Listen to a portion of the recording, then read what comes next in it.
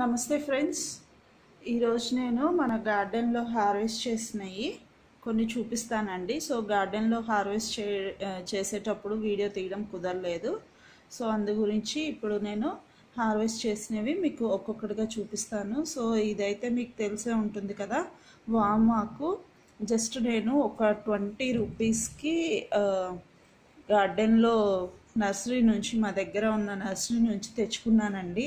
So చూడండి అసలు ఎంత ఈల్డ్ ఇచ్చిందో మొత్తం అసలు ఈ బుట్ట అంతా కూడా ఈ వామాకే ఉందండి. సో చూడండి. ఇది జస్ట్ ఈ స్టెమ్ తీసుకెళ్ళి అలా గుచ్చినా కానీ నేల్లో మనకి ఈజీగా ప్రాపగేట్ అవుతుంది. అండ్ నాకు తెలిసినంత వరకు ఇది బజ్జీనే వేసుకుంటారని తెలుసు అనమాట సో ఈ ఆకు తీసుకొని శనగపిండిలో ముంచేసుకొని ఆకు ఆకుగా బజ్జీగా వేసుకుంటారు.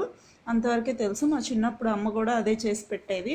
సో తర్వాత రీసెంట్గా నేను ఇది చాలా ఎక్కువ క్రాప్ వస్తుంది ఏం చేయాలని చెప్పేసి యూట్యూబ్లో సెర్చ్ చేసినప్పుడు దీని గురించి తెలిసిందనమాట సో అజ్వైన్ పౌడర్ ఈ ఆకుతోనే చేస్తారు. సో డేషెస్లో కూడా మనం యూస్ చేసుకోవచ్చు. చేసుకోవచ్చు.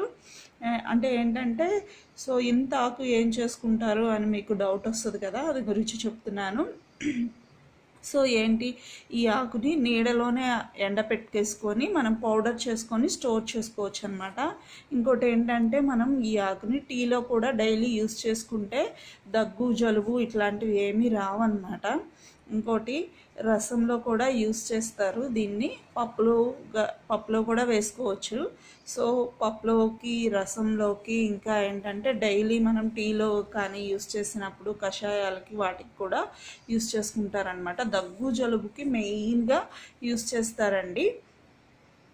సో ఈ దీనివల్ల చాలా యూజెస్ ఉన్నాయని నాకు రీసెర్చ్ చేశాక తెలిసింది. సో అందు గురించి దీన్ని ఇంకా వేస్ట్ పోనీయకూడదు అని చెప్పేసి ఈ ఆకంతా నేను కోసాను అనమాట సో ఊరెళ్తున్నాను. అందు గురించి మొత్తం ఆకంతా మళ్ళీ చెట్టు పాడైపోతుంది కదా కోయకపోతే అందు గురించి ఈ ఆకంతా కోసానమాట సో చూడండి ఎంత పెద్ద కుప్ప అయిందో ఇది. నేను ఇంట్లో తీసుకొచ్చి చూపిస్తున్నాను. సో తర్వాత ఇంకా బంతిపూలు కూడా కోసానండి. ఎందుకంటే బంతిపూలు ఇంకా మొగ్గలు ఉన్నాయి సో ఇవి కోసేస్తే ఆ మొగ్గలు మంచిగా డెవలప్ అవుతాయి అని చెప్పేసి ఈ బంతి పూలు కూడా నేను కొయ్యడం జరిగింది. అండ్ ఇప్పుడు ఈ రెండు పూలు అయితే నేను మా పాప ఊరు వెళ్తున్నాం కాబట్టి చెరొకటి పెట్టుకుంటాము. అండ్ ఇంకొకటి ఏంటంటే మిగిలినవి ఇందులో కొంత ఈ వామాకు ఈ బంతిపూలు మా ఎదురింటి వాళ్ళకి ఇస్తానండి. ఎందుకంటే బ్రదర్ డైలీ పూజ చేసుకుంటారు. సో అందుకోసం తన పూజలోకి యూజ్ అవుతాయి కదా.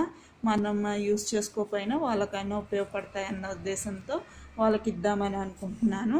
అండ్ కొన్ని టమాటా మొక్కలు అయితే తీసేసానండి. కాపు అయిపోయింది. సో వాటి నుంచి వచ్చినవి ఇంకా కొన్ని పండుతున్నాయి. పండే స్టేజ్లో ఉన్నాయి. సో తీసేసిన మొక్కల టమాటాలు అనమాట ఇవైతే ఇప్పుడు చట్నీ చేసేస్తాను. సో ఇదండి ఈరోజు వీడియో. ఇంత వామాకు పూలు ఇవన్నమాట. ఈ వీడియో ఎలా అనిపించింది అన్నది కామెంట్ సెక్షన్లో చెప్పండి. నచ్చితే లైక్ చేయండి షేర్ చేయండి. మన ఛానల్ని సబ్స్క్రైబ్ చేసుకోండి ఫ్రెండ్స్. Thank you